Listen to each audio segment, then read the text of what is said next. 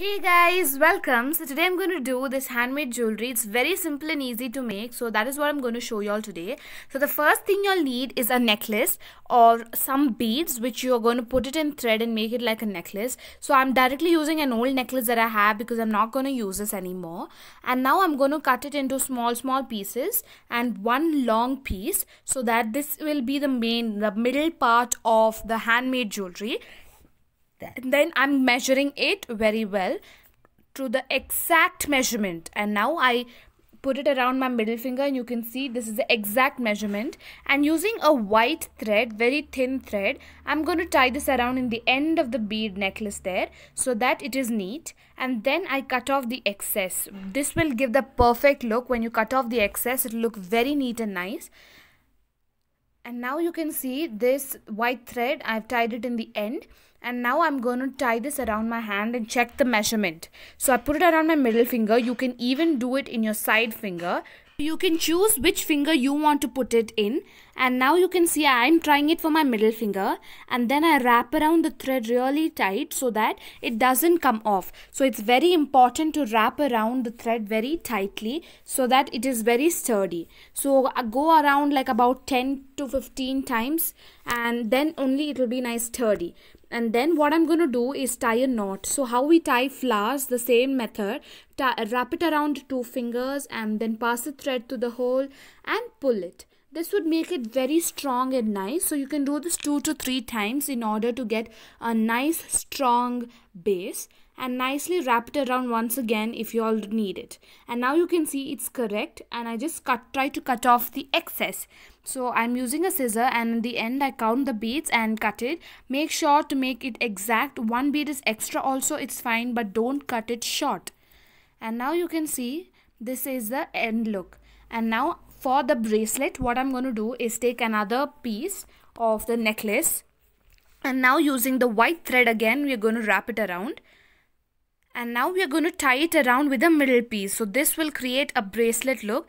Create it nice knot around the middle piece very tightly.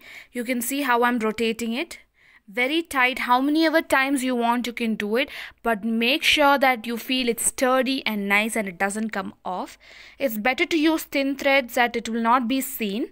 And then again using the flower tying method you can tie it off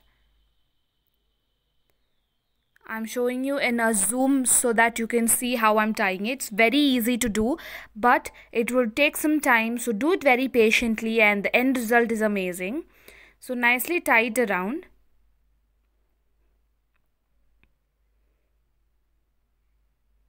So I've done like two to three knots in that so that I feel it's very sturdy because it's a thin thread, right? So you should be very sure of what you're doing and now you can see I've tied it and it's sturdy enough and cut off all the excess threads so that it will give the perfect look.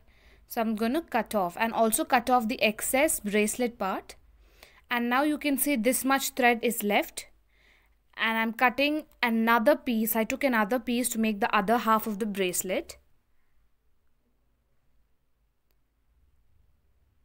If you feel the thread is less, cut off one bead and you will get a little bit of extra in that.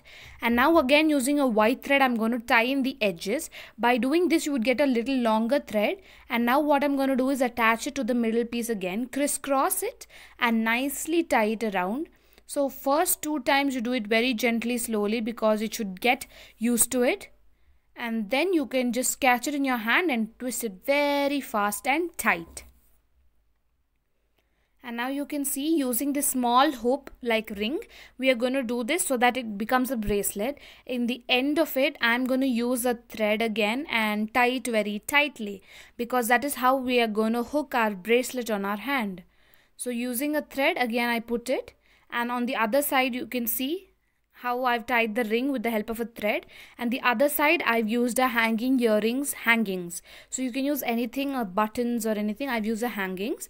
And now I'm going to show you how it looks. So I'm putting it through my middle finger. You can see you can even use your ring finger doesn't matter but how you do it is important. So I'm just showing you again because that clip was removed. So yeah just catch it with one hand and then you can just hook it up so I put two rings so that it's very tight and sturdy and you can see the final look. It looks so amazing when you wear some lehengas and all you look amazing.